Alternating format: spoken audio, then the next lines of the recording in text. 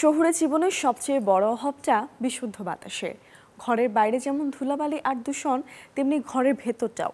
চাইলে কিন্তু কিছু গাছ রাখতে পারেন আপনার প্রিয় আবাসস্থলে, যা কিনা বিশুদ্ধ রাখবে ঘরের পরিবেশ, সাথে বাড়াবে সৌন্দর্য। বেঁচে থাকার জন্য আমাদের ফুসফুসের জন্য প্রয়োজন দুই হাজার লিটার নির্মল বাতাস। কিন্তু সেই বাতাস যদি দূষিত হয়, বিষাক্ত হয়, তবে সে বিষ নিঃশ্বাসের সঙ্গে প্রবেশ করে ফুসফুসে। তাই ঘরের বাতাসকে বিশুদ্ধ রাখতে বাসায় রাখা যেতে পারে যে গাছগুলো, তার মধ্যে অন্যতম ইংলিশ আইভি। অনেক রঙের পাওয়া যায় এই গাছটি। এটি বাতাস থেকে বিষাক্ত পদার্থ দূর করে। ফর্মাল ডিহাইড দূর করার জন্য ঘরের ভেতরে এই গাছ রাখা যেতে পারে।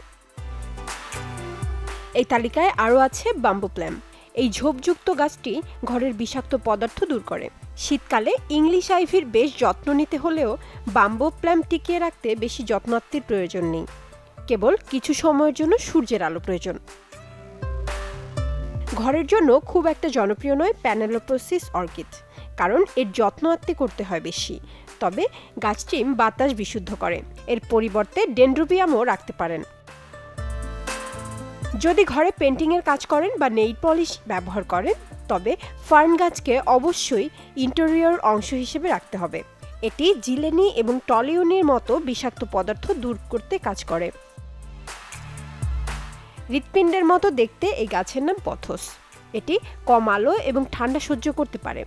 পথস ফর্মালডিহাইড ও কার্বন মনোঅক্সাইড থেকে বাতাসকে মুক্ত করে। Desk report, channel twenty